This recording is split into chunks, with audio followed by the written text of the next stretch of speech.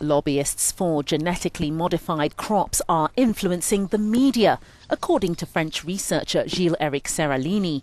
His study showing negative effects of GM maize fed to rats, including tumours, will be retracted by the journal that published it last year. Seralini has received a letter from Elsevier's Food and Toxicology. A new editor at the journal used to work for the leading producer of GM foods. Si cette revue If this magazine, which has just hired a former Monsanto employee as an editor, withdraws this study, it'll mean it never existed. jamais existé. C'est-à-dire que ce que What we've tried to do to carry out studies of the long term effects of genetically modified foods and pesticides on human health will be permanently shut off.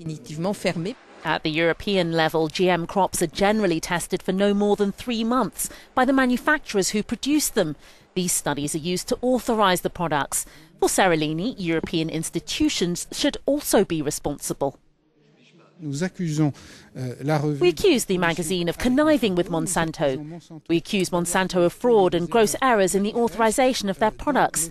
And we accuse the European Commission of only seeing Monsanto's data as valid. Meanwhile, the European Commission has proposed authorizing a new GM corn culture. The decision could be made early next year.